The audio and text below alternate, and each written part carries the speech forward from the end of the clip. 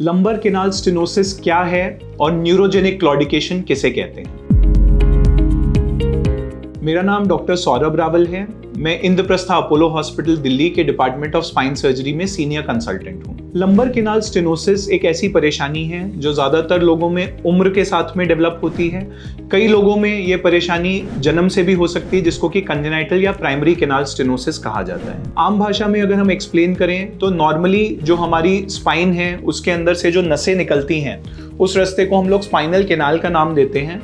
और नॉर्मल लोगों में ये स्पाइनल केनाल जो है, ये 16 से 18 मिलीमीटर के करीब रहती है। कभी कभी कुछ लोगों में लंबर केनाल स्टेनोसिस की वजह से ये जो नसों के लिए रास्ता है, ये छोटा हो जाता है नैरो हो जाता है, जिसकी वजह से कभी कभी आठ या 10 मिलीमीटर या कभी कभी उससे भी कम जगह रह जाती है नसों के निकलने के लिए। जब नसों का रास्ता नैरो हो जाता है तो नसों में पूरा सर्कुलेशन नहीं हो पाता है, जिसके वजह से पेशेंट को कमर में दर्द या पैरों में सायाटिका के, पैरों में दर्द के लक्षण आ सकते हैं। इसमें एक कॉमन सिम्टम होता है जिसको बोला जाता है न्यूरोजेनिक क्लॉडिकेशन इसमें ये होता है कि पेशेंट जब थोड़ा सा खड़े होने की या चलने की कोशिश करता है, यानी कि पाँच मिनट खड़े होने के बाद, दस मिनट खड़े होने के बाद, या आधा किलोमीटर चलने के बाद 600 मीटर चलने के बाद तो पेशेंट को पैरों में सुनपन, झंझनाहट या दर्द महसूस होने लगता है या भारीपन महसूस होने लगता है, जिसकी वजह से उसको लगता है कि उसको बैठना पड़ेगा।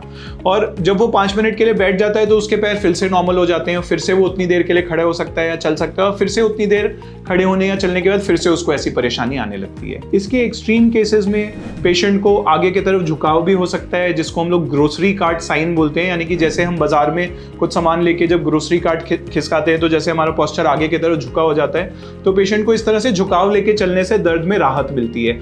और यदि वो सीधा होकर चलने की कोशिश करे तो उसका दर्द बढ़ जाता है। तो आगे की तरफ़ झुकाव लेके चलने से पेशेंट को बेहतर महसूस होता है, इसलिए उसका पॉस्चर ही आगे की तरफ़ झुका हुआ हो जाता है। एक्सट्रीम केसेस में कभी कभी लैट्रिन बाथरूम की परेशानी भी आ सकती है पेशेंट्स का यूरिन के ऊपर कंट्रोल या मोशन का पता लगना, ये सब चीज़ों में दिक्कतें आने लग सकती है। इसको कॉर्डा इक्वाइना सिंड्रोम बोला जा सकता है। तो लंबर केनाल स्टेनोसिस एक सीरियस इशू है, जिसकी वजह से पेशेंट्स को काफ़ी पेन काफ़ी डिफिकल्टी और डिसेबिलिटी का सामना करना पड़ सकता है। तो यदि आपको ऐसा लगता है कि आपके किसी जानने वाले को या आपको लंबर केनाल स्टेनोसिस के सिम्टम्स हैं तो आप तुरंत अपने स्पाइन स्पेशलिस्ट को संपर्क करें, वो आपका स्पाइन का एक एमआरआई कराएँगे और उसके बेसिस पे आगे वो रिकमेंड करेंगे कि आपके लिए क्या बेस्ट ट्रीटमेंट है। यदि इससे रिलेटेड आपका और कोई सवाल है या कुछ आप और डिस्कस करना चाहते हैं तो आप हमें व्हाट्सएप पर या ईमेल पर संपर्क कर सकते हैं। धन्यवाद।